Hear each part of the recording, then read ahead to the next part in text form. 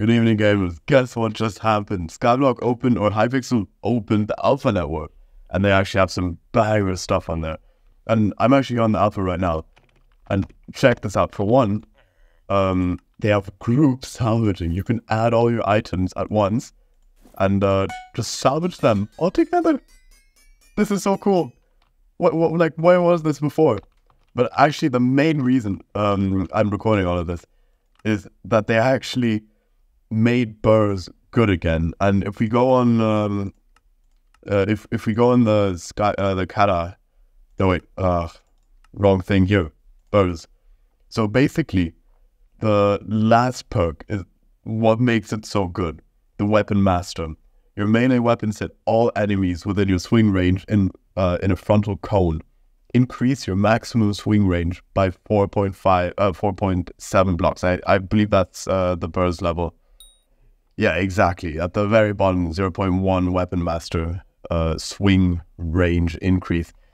And I tested a few runs with this, and it, it is pretty insane. Like, we'll, we'll go into an M7.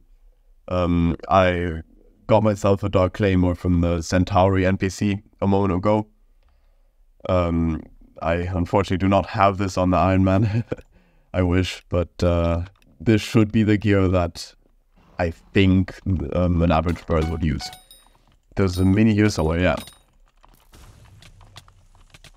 And, and it, it, just goes so fast. It's like Ultra basically. And the cone, um, the cone angle that you're uh, using as bursts is also bigger than the Archer arrows um, or that Terminator arrows go out. So like I, I could hit it from still hitting over there. Having a Berserker, actually use a sword for once because I think exactly what dungeon needed. okay, well, Bers definitely doesn't do as much damage as an LCM, so um, LCM still will do the blood camp. And for anyone wondering, it doesn't actually hit through blocks. Like you do have to see the enemy, which does make sense. Um, but I feel like that would would have been something they could have um missed or forgotten to do. so no, unfortunately not. You can't hit through walls. Um, same as Archer with arrows. I know this was a bit of a shorter video, but I do have a massive video planned coming out soon. I hope I'm, st- I'm still working on it a bit. Um, bear with me here.